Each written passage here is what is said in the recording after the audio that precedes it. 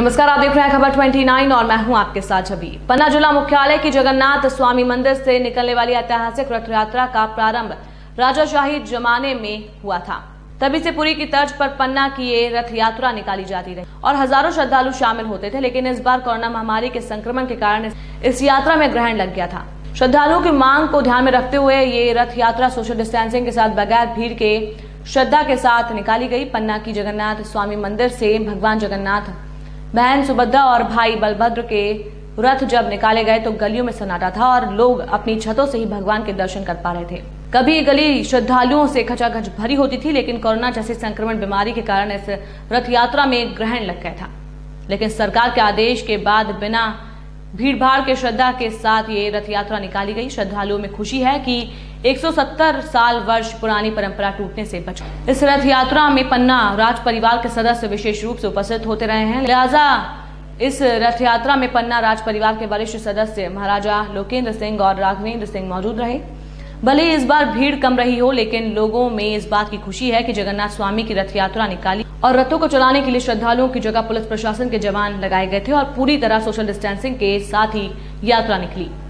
ये रथ यात्रा निकालने के लिए स्थानीय लोगों ने आवाज़ उठाई और जब ये बात सांसद बी डी शर्मा के पास पहुँची तो उन्होंने मुख्यमंत्री शिवराज सिंह चौहान से मुलाकात कर पन्ना की रथ यात्रा निकालने का अनुरोध किया। तब सरकार ने पन्ना जिला प्रशासन को रथ यात्रा न रोकने के आदेश दिए। प्रशासन ने चाक चौबंद व्यवस्था कर सड़कों में कर्फ्यू लगाकर ये रथ यात्रा निकाली। उम्मीद है अगली वर्ष बड़े उत्साह से यात्रा निकलेगी। ये पन्ना रियासत, जो बुंदेलखंड क्षेत्र का एक बहुत बड़ा भूभाग है, इसमें महाराज, लेट महाराज थे किशोर सिंह। वो वैष्णव संप्रदाय के थे और उन्होंने भगवान जगन्नाथ जी के मंदिर की स्थापित की थी सत्रह सौ छिहत्तर के आसपास। इस तरीके से ये रथ यात्रा एक सौ छिहत्तर वर्ष से अधिक वर्ष हो गए हैं इस कार्यक्रम को करते हुए। कहाँ जाते हैं भगवान ये भगवान जगन्नाथ जी का जो स्वरूप है पूरी हमारा जो धार्मिक स्थल है मठ है उसके आधार पर ही स्थापित किया गया है। ये भगवान जगन्नाथ जी के मंदिर से आज उनका निकासु होगी और यहाँ से डेढ़ किलोमीटर दूर, डेढ़ किलोमीटर दूर वहाँ पर स्थापित होंगे। स्थापित होंगे लखूरन में और वहाँ पर विश्राम करेंगे। कोरोना के चलते प्रशासन ने बड़े ही तीखे कदम उठाए हैं। कम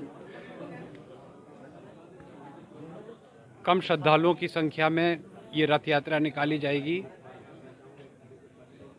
पर हम धन्यवाद देते हैं मध्य प्रदेश शासन को जिन्होंने ये रथ यात्रा निकालने की अनुमति दी। क्या परंपरा थी पहले निकालने की? ये परंपरा कम से कम डेढ़ सौ पौने दो सौ साल पुरानी महाराज किशोर सिंह पैदल चल के पुरी से मूर्तियाँ यहाँ लाके उन्होंने मंदिर में स्थापित की थी। जैसे तब से लेके तब से लेके आज तक ये परंपरा चली आई है और हर प्र, हर वर्ष के भांति इस वर्ष भी भगवान भगवान जगन्नाथ की यात्रा निकाली जा रही है। जैसा कि पहले हजूम दिखता था इस बार अब शांतिपूर्वक निकलेगी इसके बारे में। कोरोना को देखते हुए कम श्रद्धालुओं की संख्या श्रद्धालु अपने घर से भगवान के दर्शन करें। यही शासन की तरफ़ से प्रबंध है। ये वास्तव में परंपरा हज़ारों वर्षों से चली आ रही है। ये सबसे पहले पूरी में प्रारंभ हुई थी। महाराज इंद्रद्युम्न ने स्थापना वहाँ करके और तब से चालू की हुई थी। उसमें भगवान श्री कृष्ण के साक्षात स्वरूप में भगवान जगदीश स्वामी जी विराजमान है वहाँ पर।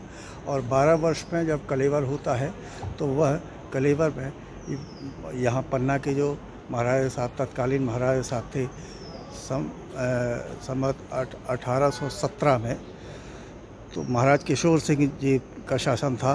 उन्होंने यह मंदिर बनाया था और स्थापित किया था यहाँ पर, और तब से ये रथ यात्रा चालू है ये। कैसे धूमधाम से आप लोग ये कैसे क्या ये वहाँ वहाँ जनकपुर से तात्पर्य यह है कि जहाँ वह ओरिजिनेट जहाँ जहाँ अस्तित्व में आए वो जहाँ प्रा, प्रादुर्भाव हुआ उनका जहाँ उत्पन्न हुए भगवान इसलिए वह जनकपुर कहलाता है वहाँ गुंडीचा मंदिर कहलाता है उड़ीसा में और यहाँ भी ठीक उसी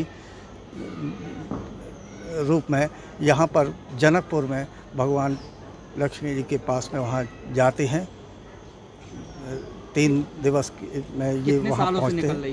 यह यहाँ पर दो सौ तीन 203 वर्षों से निकल रहे हैं। कोरोना संकट काल के चलते प्रशासन की मुस्तैदी के बीच रथ यात्रा का शुभारंभ हो रहा है।